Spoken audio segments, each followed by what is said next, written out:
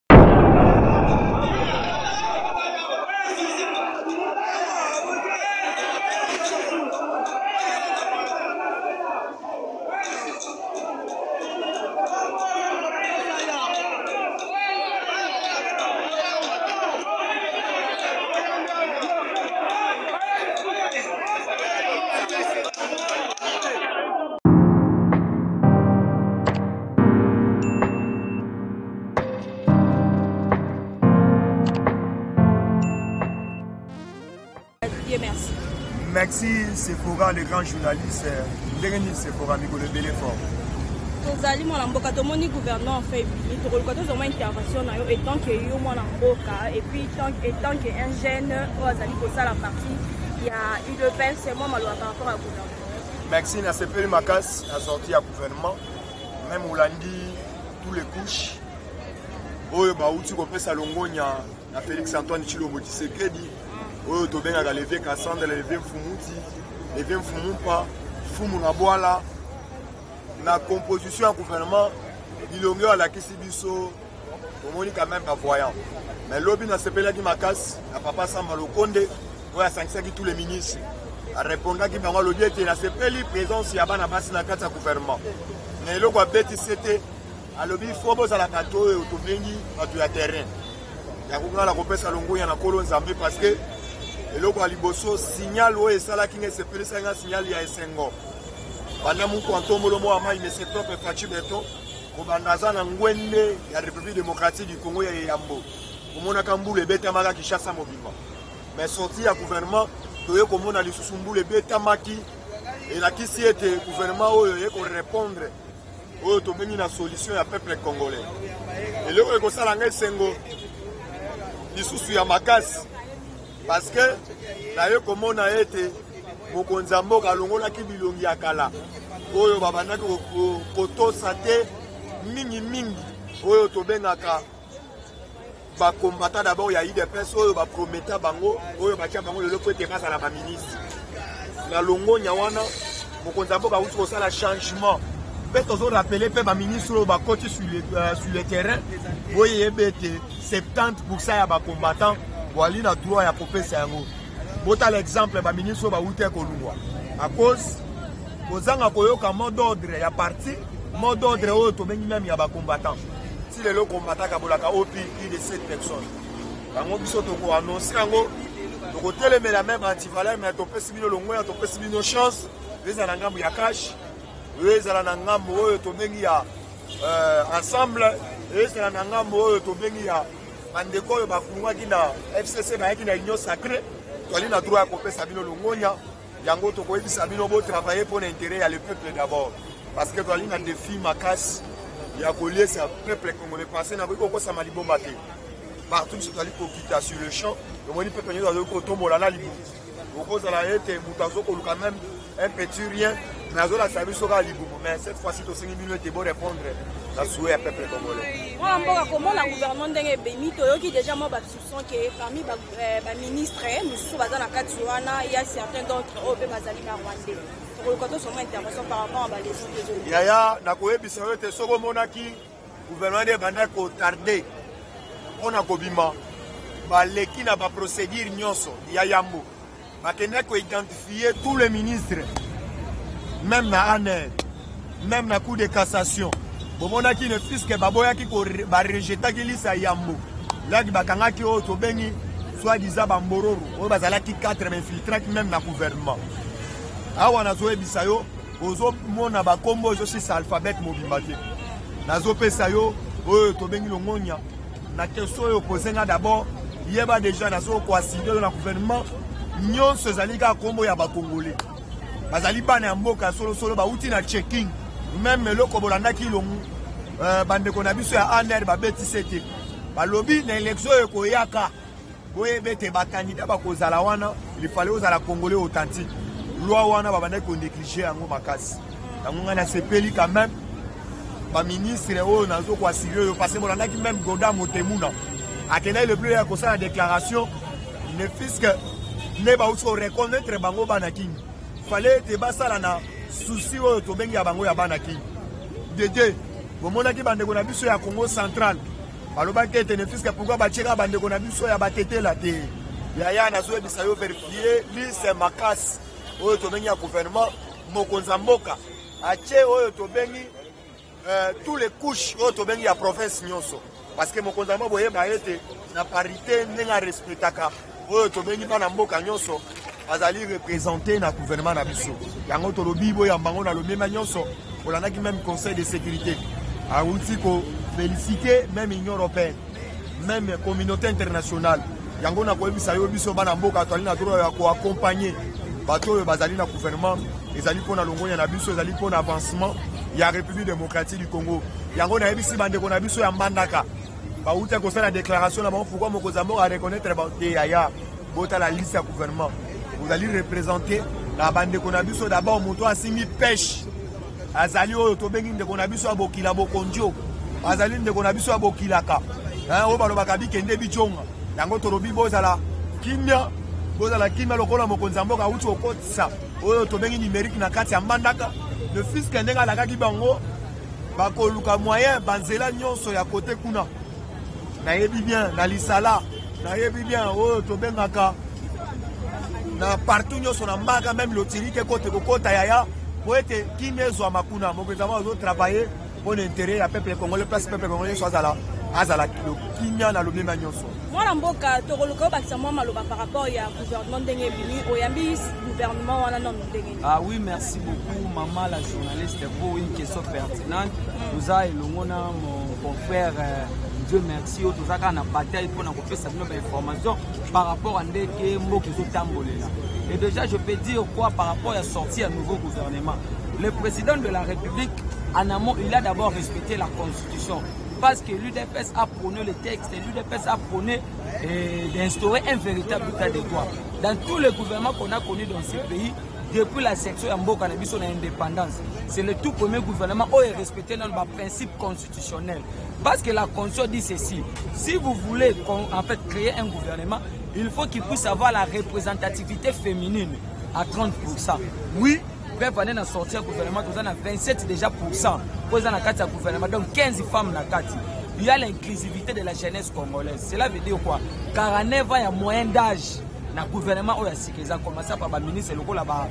patrick muyaya le ministre ya communication akomasa par de moindo nzange tout consort et puis le président est allé plus loin pour respecter encore la représentativité ya géopolitique ce qui n'était pas le cas hier parce que hier quand kabila est au sommet de l'état En tout cas, on nous prenait des gens comme des Shadari, des gens oh, bah, bima na, na baplace oyo oh, totikala koyeba te c'est pour cela aujourd'hui bato bazelaki gouvernement makasi mokonzi ya mboka ayokaki population na ye parce que le gouvernement c'est le pouvoir discrétionnel ya président de la république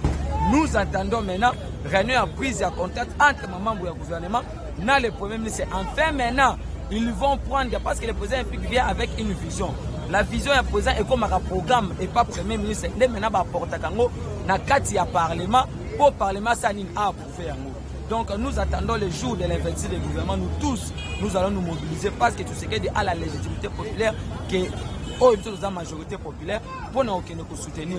Mais le problème, c'est quoi Il y a des gens qui ont dit que non, Martin Fayoul a refusé d'entrer dans le nouveau gouvernement. Mais il y a un député au nom de la Fabrice. Il est décidé, il a parti campagne pour Martin Fayoul. Aujourd'hui, c'est un ministre à trois semaines. C'est pour vous dire que non, tu sais sais qu'il a appuyé d'abord l'article 59 de la Constitution il a refusé à exclure Batou. C'est le tout premier président qui a constitué tous les couches sociopolitiques. Aujourd'hui, nous avons l'Union sacrée. L'Union sacrée, c'est une vision du président de la République qui va raconter le bien-être de la population congolaise. C'est pour cela que je profite à cette occasion de lancer un appel qu'on puisse soutenir notre président de la République. Pourquoi Parce qu'il a la légitimité parlementaire, diplomatique et puis populaire. Le président de la République, son mandat va commencer le jour où on va adopter le programme de Samba Lukonde ce qui a la priorité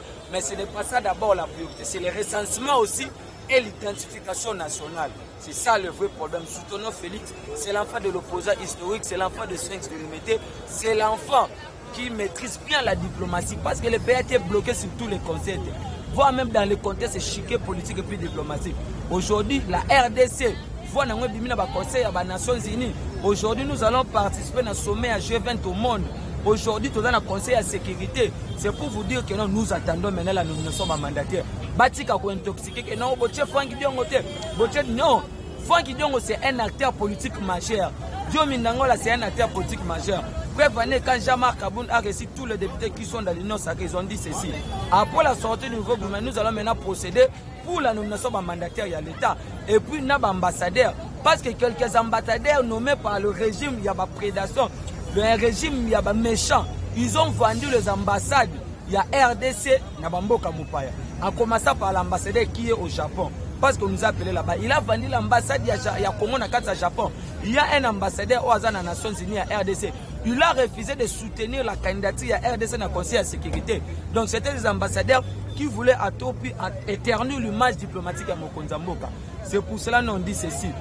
tous ces partis créés pour conserver le pouvoir Alors l'UDPS a été créé pour combattre le système dictatorial maréchal Mobutu, Yabangwanda et tout consort. Tout soutenir, c'est notre sang, c'est notre frère. mwana mboka de merci tomoni mpe na ngambu ya baeste kuna tomoni bandeko na biso baboyi baboyi bamonisco bazala sura kuna tomoni mwa badesordre ezali kosalama epuis bamort ezali kosalama quelque blesse aussi tokoki tozwama intervention par rapport ya fero etali monisco merci napesi yo longonya na ndenge olobi le fiske bandeko na biso na est, na est bauti koboya monisco de 1 boyebi en tout moment la toevangelisaka mpo na kofongola peuple congolais se prendre charge na mboka na ye tisekedi atikela biso siloga moko aloba ye te prenez vous en charge namonaki ebele nakendaki le plus ya kolakisa me bandeko mosusu nake kosenga nyongo na ngai motu susu ayebisa ngai naozela sorti ya gouvernement mais gouvernement ebimi namoni afuti nyongo na ngai te dabord lokola bandeko na biso ya monis Monusco. Bomoni à plusieurs fois na kati ya est bazokanga bango na bacontener na bango na bateni ya biso ya fardc na la police baoki epesa na bagroupe rebele na bamasasi bomonaki meme bato ya pam oyo bakendaki le plus loin ambassadeur akufa bangai bakosela meme na république démocratique du congo mais grâce ya kolo nzambe alalaka te selon renseignement américain ah, renseignement oyo tobengaka israélien renseignement ya rdc baye koverifie ete ambassadeur akenda na, na es ya mboka sa kolaka zo akenda koverifie bamini na ye ezalaki shida oyo mama na ye atikaka ye ayaki kozwa kaka continuité mpo na fiske na pouvoir ya tshilombo ya félix antoine tshilombo tshisekedi alobaki ete moto epai azali azala librement yango ozolanda meme ya quelques journalistes na minute oyo bazwi bazwi mbongo na bato moko songolo pakala balobi ete balakisa meme baaction ya chef de l'état te yango nakosengo sephora linga mokaba na yo tokita na babiloko nyonso mokonzi ya mboka azali kosala na république démocratique du congo visibilité sefo nayebisi yo so tolingi toyede félix antoine tshilombo tshisekedi hmm. toali na droit kokita sur le champ ya koverifie baaction nyonso papa nazoyebisa yo c'est la toute la première fois na rdc hmm. oyo tobengi eh, pilon oyo ya cabler ya courant eye mpo ye koalimente ville ya kinshasa makuru ekendaka te touti koyamba trek bato oyo avant-hier ebandi mosala na oyo tobengi na balaki na balaki na biso babateau de pêche nyonso wana pouvoir asamba lokoni yaya bomonaki makambo ya bokangalosi tolelaki Felix Antoine Chilombo Tshisekedi bukanga lonzo plus de 6000 tonnes mais nzela eza te yango tozo plaide toujours bandeko na biso ya monusco nazoyebisa yo peuple congolais nde Tshisekedi wa mulumba ayebisaka biso mokolo oyo peuple congolais akoloba un seul langage ezali déjà décollage ya république démocratique du congo yango napesi bango longonya peuple congolais nyonso ya est bacomprendre ete base prendre en charge bacomprendre ete batata na bango na bamama na bango bazokufa na est à cause ya ba un imposteur yaya nazoyebisa papa mboso tozoya wana na gouvernement mobimba mais biso tokolata bapolo tokokomba yango recensement denonce oyo tobengaka badepute oyo bazali bakulu na cravate oyo bazosiege yo somona depute bazobenga ye nyama na kotumba mais grand rebele aza na groupe ya rebellion na este ndenge nini bandeko na biso bakozwa kimia longonya mingi na monisco bocomprendre ete tocomprendre je na bino boyaki na rdc bokutaka oyo oh, tobengi 4 groupe rebellion lelo nakotanga eleo kende na ese otala bagroupe rebellion ndenge ebotami plus de 1000 plus de 100 nyonso wana ezalaki cope na bango mpo ete bayibaka se na se pepe bango ndenge acomprendre alobi ete babomi nde bango oyo nde pepe aseprendre na charge mais nazoyebisa yo na moma oyo apart wana tozosenga na félix antoine tshilombo kisekedi toyebi bien moniso lelo amonani oyo ezali na bakongole mosusu oyo bazokogrimase biso na république démocratique du congo nzoka baza bakongole te nzoka bazali na mangwele na luketo me bakosa biso nzoka mangwele na loboko ezali te eloko tokosenga na minute oyo mpo bayebisi nga bakomi koimprime meme bakati ya lecteur epa bawara meme na gambela bazo koimprime meme na wenza liberté meme na zandu meme oyo tobengaka na bawenza nyonso bakomi koimprime oyo tobengi bakati ya lecteur bawara ngai nakuti na bawara galerie mobimba na bakati ya lecteur yango toboyi tolobi toke na recensement parce que mpo toyeba nani azali mororo parce que nasepelaki na acte oyo basali baministre batuni bango camarade na yo na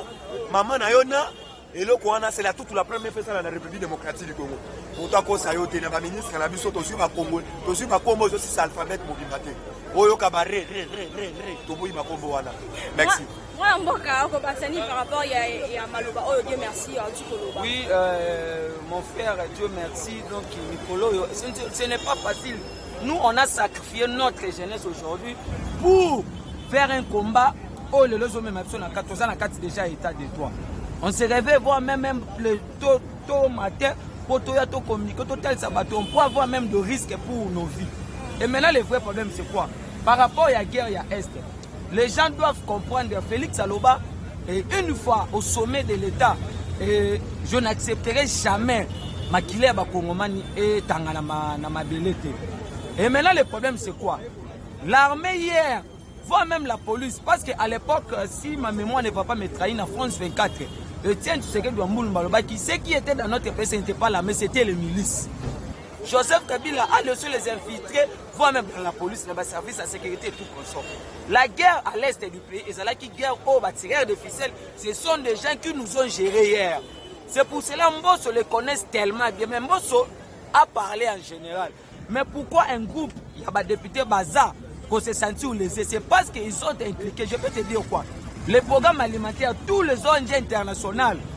à l'est du pays bafutelaka na ndako ya badepute mais on sait le salaire oyo badepute basoka mais tu vois aller là-bas à l'est omoni depute na ndako moko ya monene ke tu ne peux pas imaginer c'est pour cela euh, jean-marc kabunda kabunda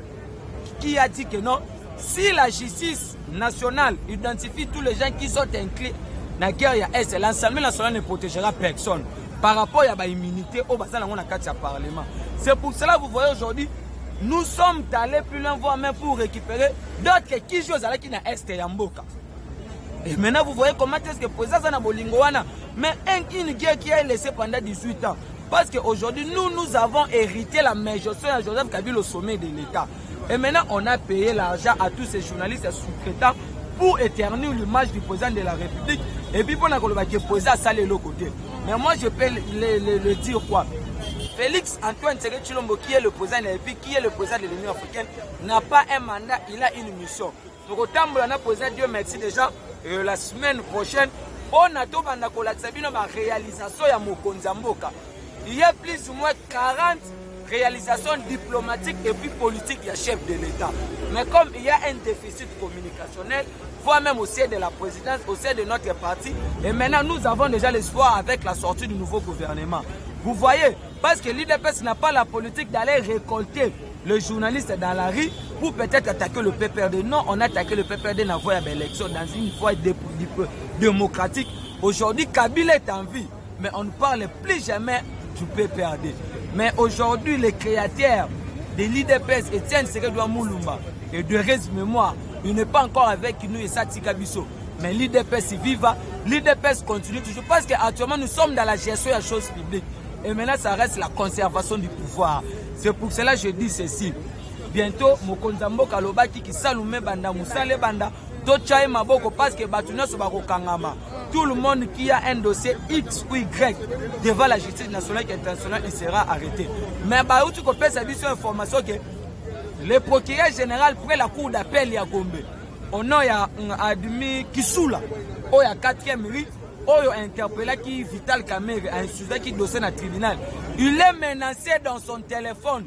On est tenté voire même de menacer sa famille, ses enfants, sa femme. Nous avons cette information na bato baza na communication ya un député na assemblée ya professeur tokotanga komona ete na caméra comme état politique il est tenté de recevoir des menaces par rapport ya dossier vital camille c'est pour cela nous lançons un appel mpo na koyebisa bango que nous sommes au courant de ça lisu likolo ya lisu tosoutenir mokonzi ya mboka bino mpe bopermetaka bayi mboka nyonso bayeba ndenge mboka ezotambola parce que bozolakisa bato baevenement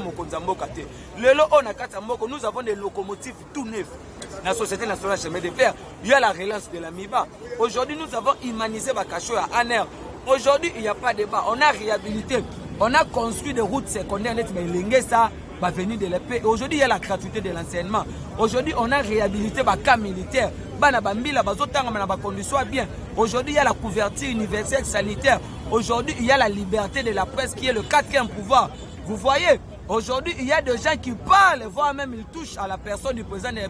sans pour autant base à la inquiéter. Vous voyez, on a vu une personne qui s'est dit qu'il est un opposant, Martin Fayoulou. récemment atambola babebisa mutuka lela bafutele mutuka mais devoir de mémoire awa na 10e tu sais que le père a marché na l'époque ya bangwanda babebisa mutuka mais vi akita asala marche c'est pour vous dire que non si martin fayulu ekoni peut-être moke c'est grâce à l'idps parce que en 2012 on avait créé le scritir ya dynamique tu sais que du président et pas frank diongo c'est là où fayulu a profité pour avoir peut-être un peu ya bavoie mais je peux le dire ceci nous allons appuyer les propositions de Noël Chani. Avant que tu puisses briguer la présence de la République, Tu dois être né d'un père congolais puis d'une mère congolaise. Parce qu'on a connu des infiltrés au sommet de l'État, en commençant par une personne qui a une mère zambienne, un père Greek chef. Nous avons Kabila, Oya Botamana Dema Pasanama, non, non, Moussous Neye Rwabora. Donc le tout premier policier qui est connu de son père et de sa mère, c'est Félix Antoine Tshisekedi Tshilombo. mwana mboka toyoki mpe mwa badesordre ezali kosalama na ngambo ya zando kuna komona baparlementaire debut ya udps na ya ngambo mosusu kosala mwa badesordre toko koloba eloko nini ezali koleka entre baimboka ya parti ya udps baparlementaire na ya baeside non maman il faut yebake biso toza parti au pouvoir actuellement hier nous étions dans la conquête du pouvoir aujourd'hui nous sommes na gestion ya chose publique et puis demain c'est la conservation du pouvoir etienne tisekedi qui est notre mentor politique ayebisaka biso que le jour où l'udps accédera la magistrature suprême on ne parlera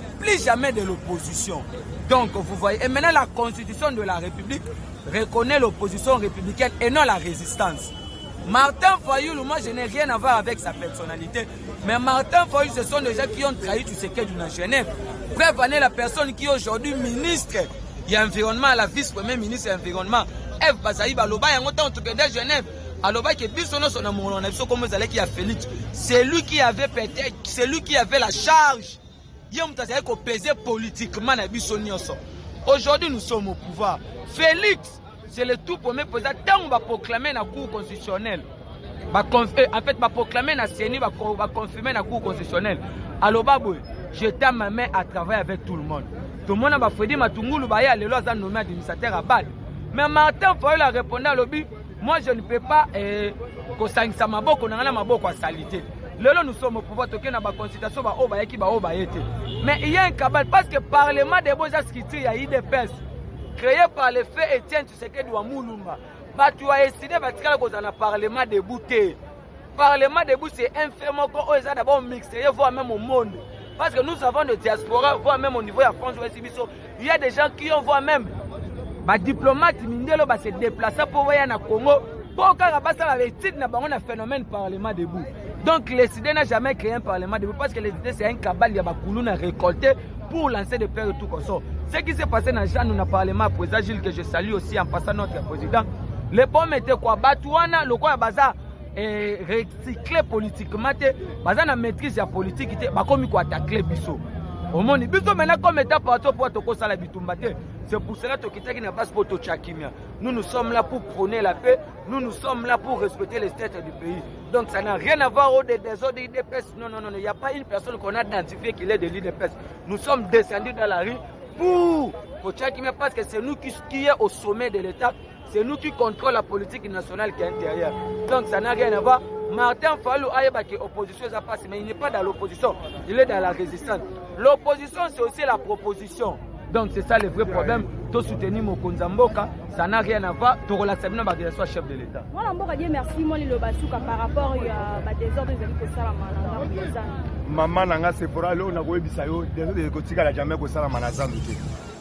parce que bakolo balabala ezali biso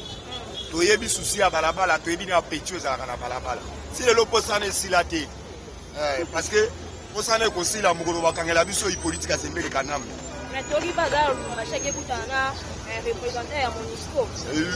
wana ezali oyo tobengaka luvuni eh, parce que toyebi kabale na ye oyo sango awuti kokufa na kati ya na lubumbashi oyo tobengaka archevêque bakaba nango bakende le plus ya koempoisonne archevêque wana mpo ambongo akende akende korepresente mama nayebisa ko toatakaka individu lokola ambongo lokola shoni mais tomoni kabila aye kose lave aye kolakisa liboso ngam na bare moto oyo parceke toyebisaka yo azali oyo tobengi mobomi monene tobengaka esprit de mort dc7 bisika ya bomaka ayaka ne fiske po ete azwa mwa eloko moko place ya bare yango monaki akendaki na ebembe po ambongo akende po shola akende ye kabila ake na ebembe wana alakisi bino te nga mobomi ye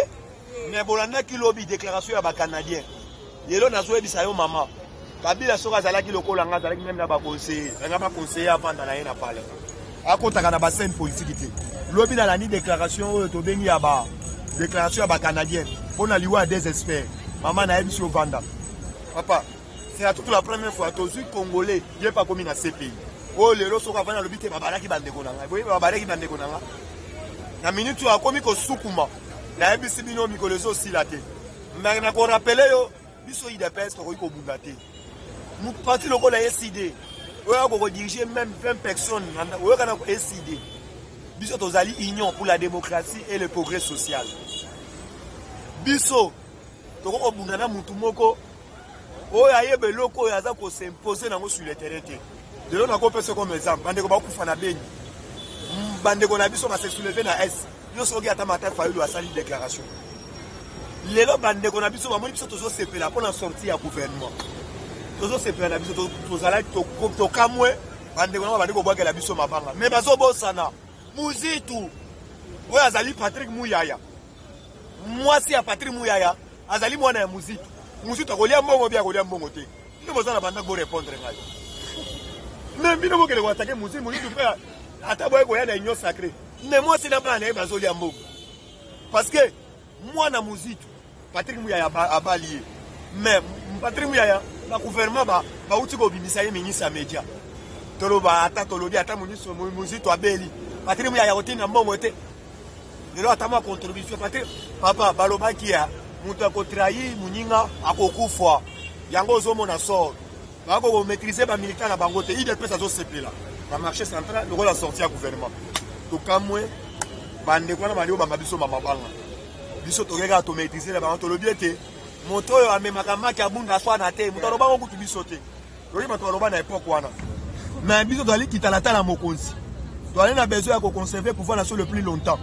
ngai nakobundisa congolais te to omoni ngai nakobeta ni congolais ni mata soki omoni moto alobi bamessage yango ezali mensonge azolinga ete le fiske place ya kotelema ezali te parce que nayo nayebisa yo oyo yo moko oyoki lamuka ekomi lamuka maison mare lamuka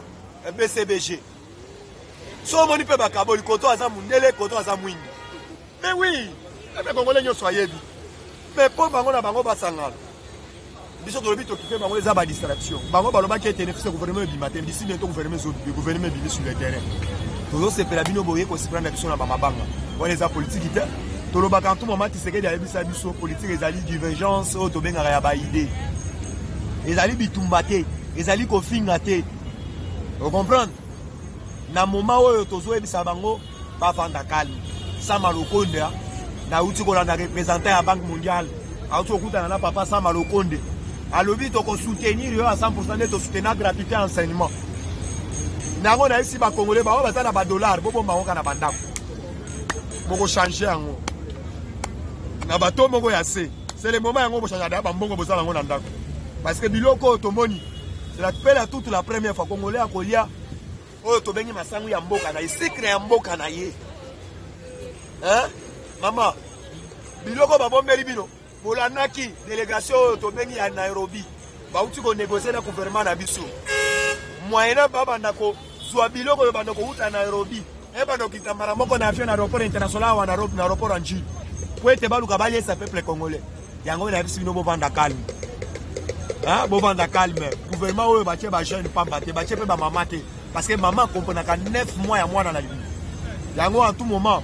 nayebisaka bamama na ngai mpe bazali, bazali libanda ya mboka tolingaka bino makasi à tout moment ntango biso tolelaka boyokaka biso facilement parce que boyebaka mpasi ya mwana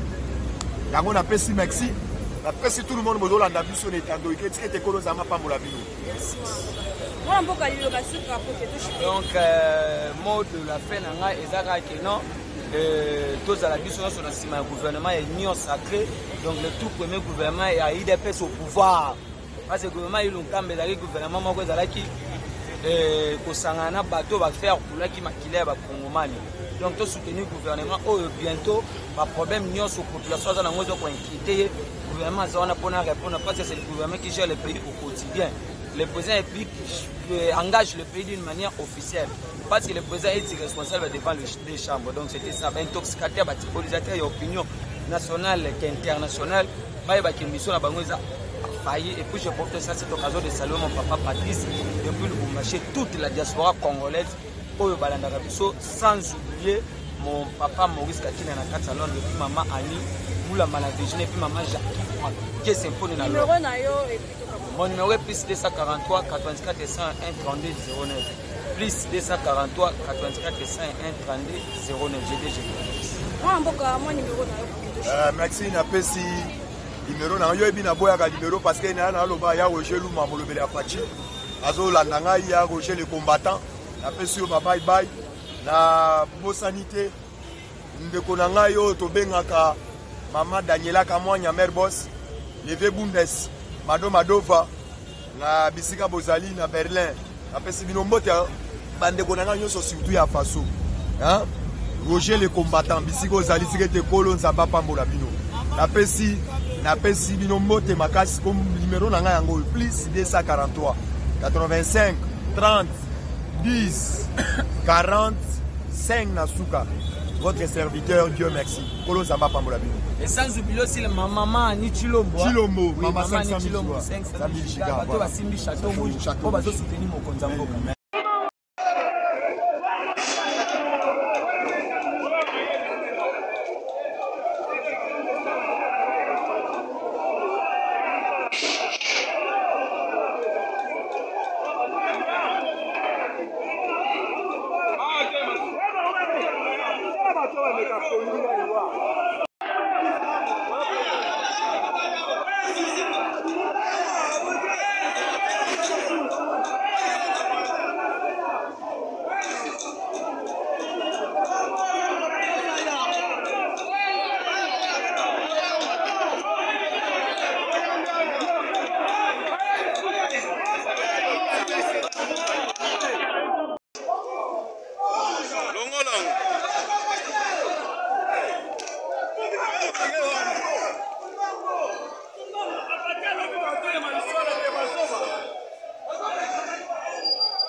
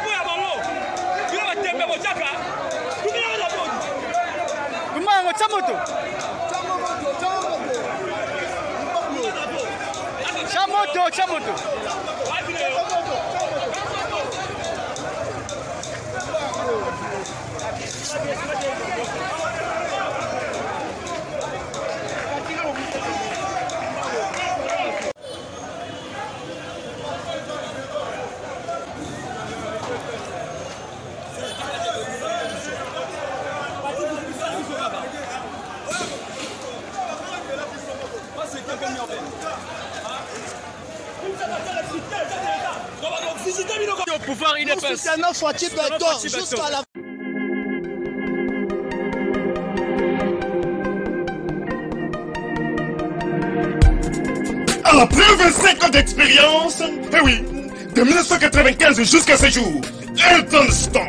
oyo l'unique shop congolais de londres na grande bretagne oyo ti lelo ezali kosala fierte ya communauté na biso et surtout ya bahomme d'affaires congolais serie na diaspora oh yes yes yes yes secret ya item store ezali kaka moko le serie akei na service kitoko na bacliya na ye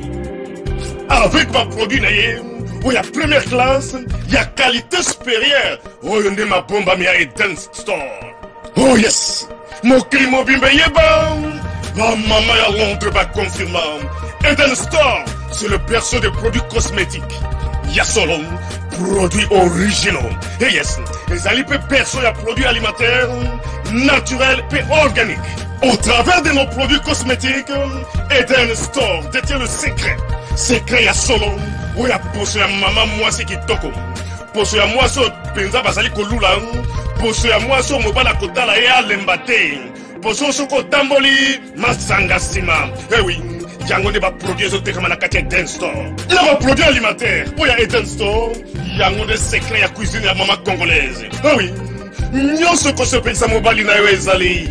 pondu matembele ngaingai ndole fumbwa ndunda bilembwe oyo nyonso mpenza oyo ekobonga mpo na cuisine na yo ezali oh yes yes yes olingi mobali na yo asepela na yo libela na libela olingi mobali na yo atalaka yo lokola mwasi azali kolula sika